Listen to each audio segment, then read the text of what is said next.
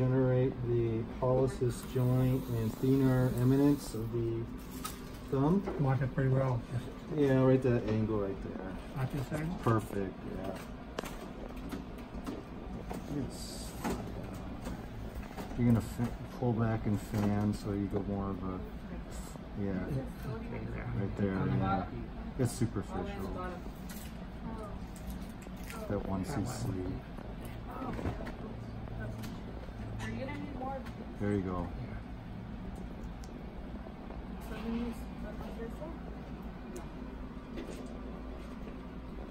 We're gonna we're gonna spread that around the grassing tool. So